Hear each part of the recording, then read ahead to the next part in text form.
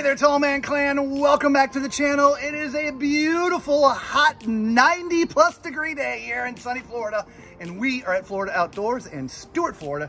And we're looking at a really unique floor plan, uh, the Astoria 1500 series. It is the 2943 BHF, all right? So come sweat with us and let's go look. All right, so as you can see, huge storage area.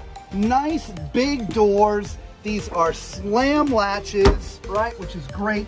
They're held up by magnetics, which is also awesome. Just, I, I love this. Now, this does not have the drop frame.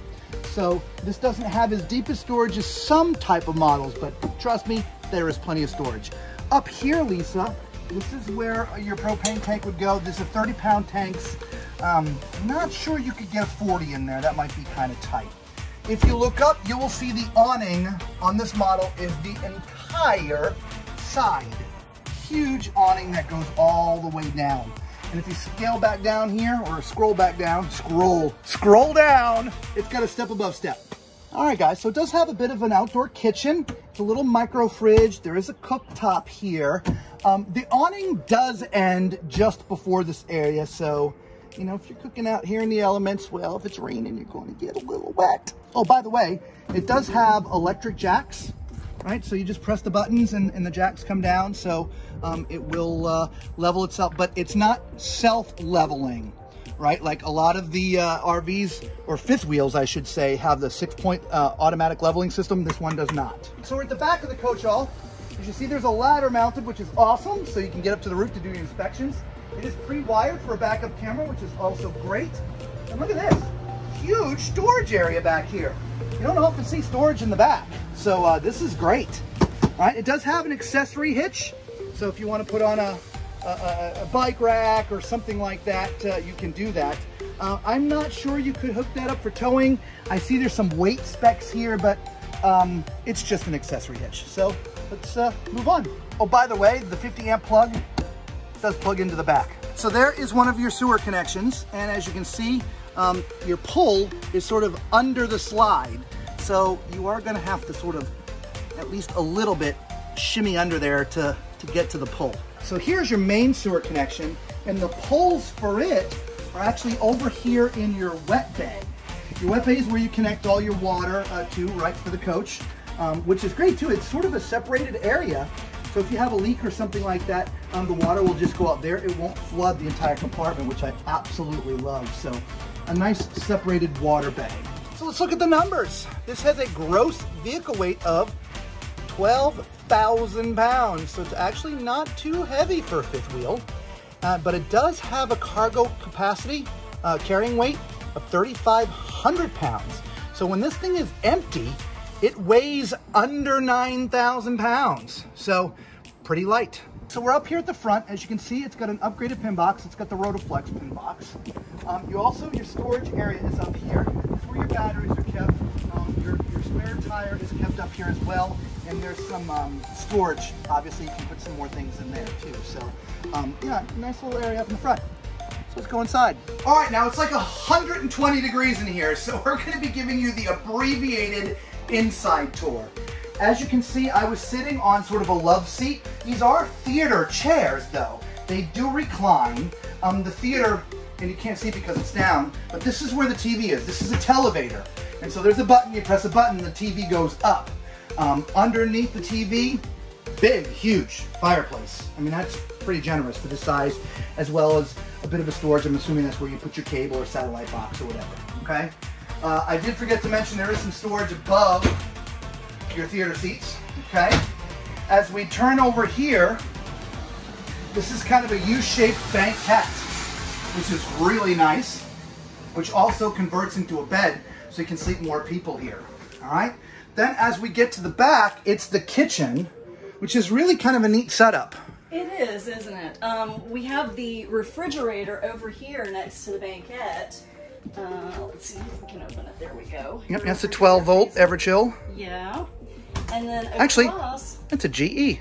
it is a GE. Yeah, I thought that was an Everchill. That is This is a residential refrigerator. That's awesome. So it works on your inverter. Excellent. Nice. That's great. Yeah, I didn't notice that. Good catch. So over here we do have double basin sink. Um, this is nice. I like the double basins. Uh, and this is also something that I, Robert I and love that. Yeah. Yeah. Love that little extra countertop space. Just when you're preparing dinner and need, you know, it's just, it's great to have. It is, absolutely. So we do have some storage cabinets overhead. Both sides here of the corner. Nice storage. Um, we do have some storage drawers down below, as well as some more storage here. Yep. Now we do have our microwave with a little storage above that. And we have a three burner stove with an oven, Nice. right? Now I like the detail work in all of Yeah. the. Look at that crown molding, Yeah, right? It's beautiful. pretty? Yeah, I mean, there's some nice upgrades. Guys, this is a very basic fifth wheel, sort of, I would call it entry level, right? It's not very heavy. It's on the light side, so you don't need a, you know, a, a, dually, right? So, but look at this. This is why we looked at this one. It's a really unique floor plan. It's, it's a bunkhouse, but the bunk's kind of sideways. Here, here, let me, I'm to give this to Lisa. All right? Yeah, look at this. So, for tall man, for those of you who are seeing our channel for the first time, I am six foot four. And so we sort of review things, you know, uh, kind of with a tall aspect, all right? Uh, if you're tall, you're going to find it hard to get into these bunks, okay? It just, they're not going to be long enough. It just, it is what it is, okay? Um, they've got the little teddy bear mattresses. For short term, it's not too bad, but for long term, they're not very comfortable. Um, so if you're if you're a child, if you're a teenager, or even a small adult, these bunks would work great for you. But if you're a normal, well, I won't say normal. If you're tall like me, you're not going to fit back here, okay? But it does have a door, so you can, you know, shut this off at night, right? There's some storage up here for your clothing, which is awesome, right? So it's a really unique way to do this here in the back. Um, very cool, right? So let's go up to the front.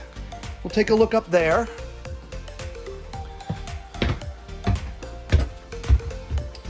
Oh, you know what time it is? It's time for Tall Man's toilet test. We're on a porcelain foot flush toilet, which is awesome. And as you can see, plenty of leg room, plenty of shoulder space. Definitely. Right in front of me, you got your sink. There's some extra countertop space, which is awesome up here, so you can put your toiletries and things like that. Um, there's some storage underneath, and because it kind of goes back in there, you can, you know, store some extra rolls of toilet paper and stuff like that, which is awesome. As you see, there's a medicine chest up there. I can see from the top of my lip down. Okay? Again, remember, six foot four. Over here, there is cabinetry for storing your towels. Right? Manufacturers, showers require towels. Make sure you continue to put storage in for people for towels. All right, let's get in the shower. All right, if you've watched any of our videos, you know how I feel about glass doors. If you haven't watched, it's the first time you've seen us. We left a video uh, uh, link down there. We did a whole video just about shower doors. You should go watch it. All right, guys. Uh, my head just misses. Okay? Shower head, good place. Plenty of width, plenty of depth. I mean, everything is great about this shower. I wish I had really about that much more space. Like again, I think I was in another RV recently where my head was just about touching the roof. If you've got more hair than I do and it's wet, well, your hair, Lisa, scroll up to the top. If you've got a big head of hair, your hair is going to be your wet hair is to be touching the roof right here. So, not going to be a thumbs down, not going to be a thumbs up. But if you're tall like I am, it's going to present some challenges. Off to the bedroom. All right, as you can see, we're up in the front. Um, this is a queen size bed at best. I think it's a little smaller. I don't have my tape measure. I'm sorry. Um, if you're tall, your feet are going to be hanging off. It's just that simple. Or you're going to have to sleep diagonally. Okay. There is storage up above, left and right. To the front uh, side of the bed, there's some sort of nightstands. There is storage underneath. Um, there's USB charging ports on both sides as well as regular power. So if you got like a CPAP or something you need to plug in, it's got regular power there.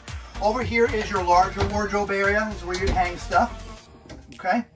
And so, uh, yeah, and there's some drawers over here as well. Okay. So, guys, this is your basic entry level fifth wheel. Uh, for, for example, most fifth wheels would have a washer and dryer hookup. This one does not. Most fifth wheels are, say, 15,000 pounds or higher. Most, guys, not all. So um, this is not your heavy duty top of the line, but this has some amazing features. Great theater uh, chairs. You've got a televator for your TV. Beautiful layout, especially with the bunks in the back. So if it's a couple, this really would be a great fifth wheel for your first time out for a couple. All right, guys, if this is the first time you found our channel, thank you so much. And uh, guys, I apologize, I keep on rubbing my face, but we are dripping wet in here, right? Until we see you the next time, be safe.